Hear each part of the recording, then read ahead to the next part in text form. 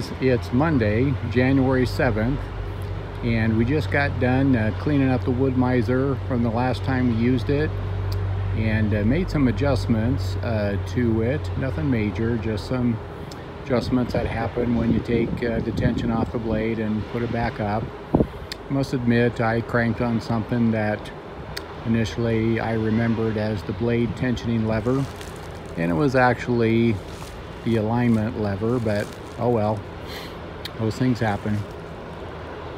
So today we're gonna saw up that old maple log. And uh, this was given to me, oh golly, probably two years ago now, maybe longer, uh, by my friend Daryl, who's in our tractor club. And uh, it was at one of his rental properties. And uh, so he gave it to me and we're gonna saw it up today. So stay tuned.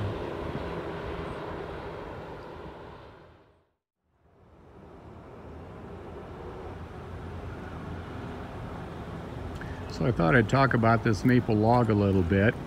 I'm hoping that it has got some spalting inside because when I brought it home, I put it in an area uh, that is uh, moist and you typically uh, want to keep it somewhere that's you know pretty dry and uh, this log uh, I intentionally put it in an area where it was pretty moist and uh, there you will see the fungus starting to grow on the side of the log and I'm hoping that that fungus has uh, started to spalt the inside of the log but of course the danger is it has gone too far and the inside of the log is uh, beyond spalting but now rotten.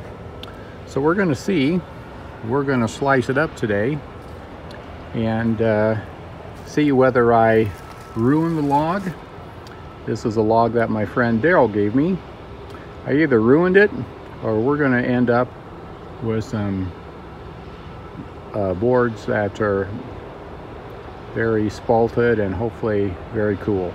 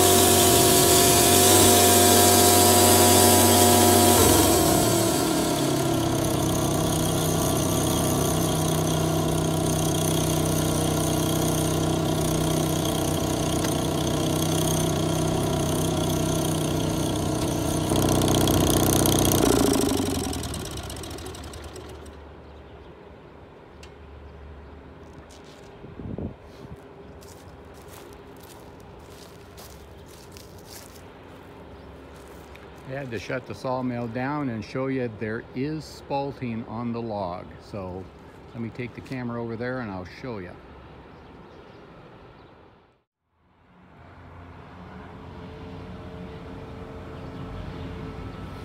This is exactly what I was hoping for. The maple is starting to spalt and uh, it looks like it's still reasonably solid. Um, now this is just the first cut, so you know the spalting I'm sure starts on the outer edge and goes down inside. So we're hoping as we continue to saw up this log that we'll see some more spalting just like what you see right there.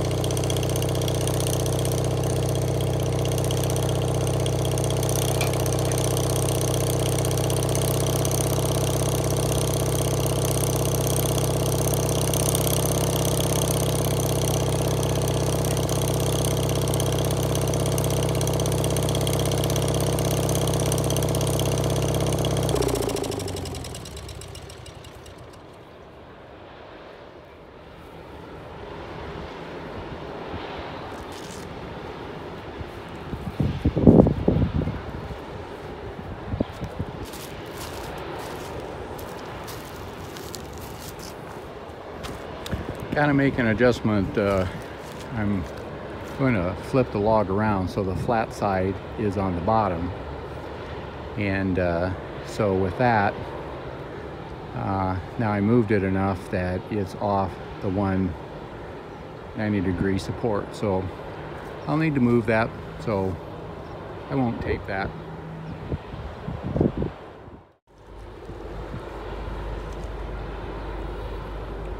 Okay, we've got it rolled over. Now let's start slicing it from the other side and we'll start stacking it on the pile, which it's on the other side of that pile, unfortunately, but I'll take the camera over there once we start stacking it a little bit.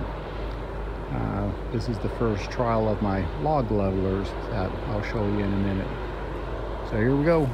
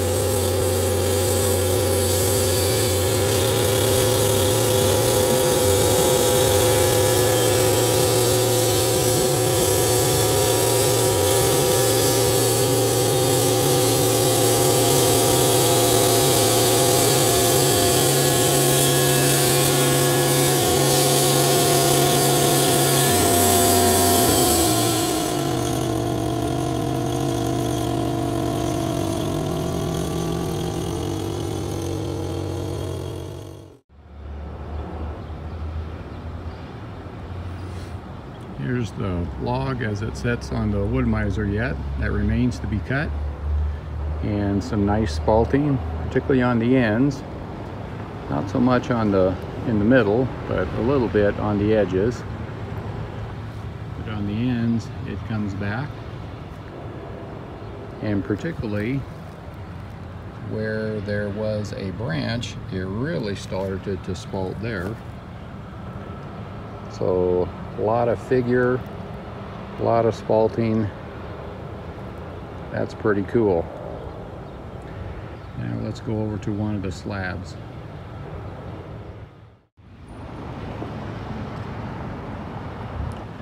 So these are my Matt Cremona inspired log levelers and they're about two feet apart. That's about what you want to do in terms of the stickers. So I got the first two slabs on there and some spalting you'll see and some other nice figure. And again, this is a maple log and particularly very cool there where that branch came out. Very cool spalting. So, the good news is I called it about right. We've got some spalting going on, but the log is not rotten. So that's about when you should saw it up on these maple logs where you want spalting.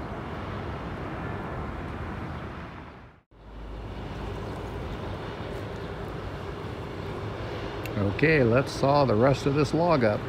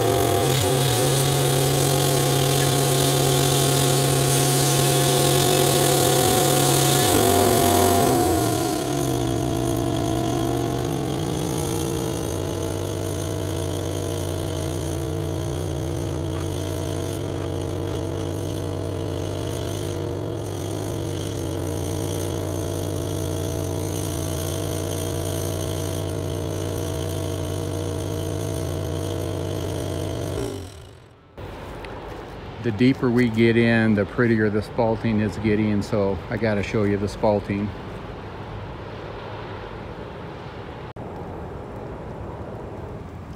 Here's the last board I just took off. Look at that dark black spalting. It's absolutely beautiful.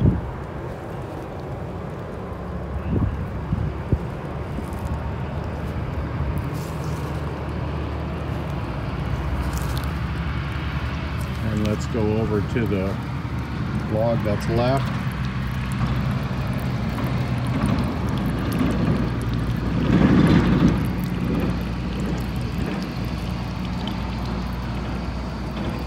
It was kind of dark brown or look like stains, that's just the water from the Wood-Mizer.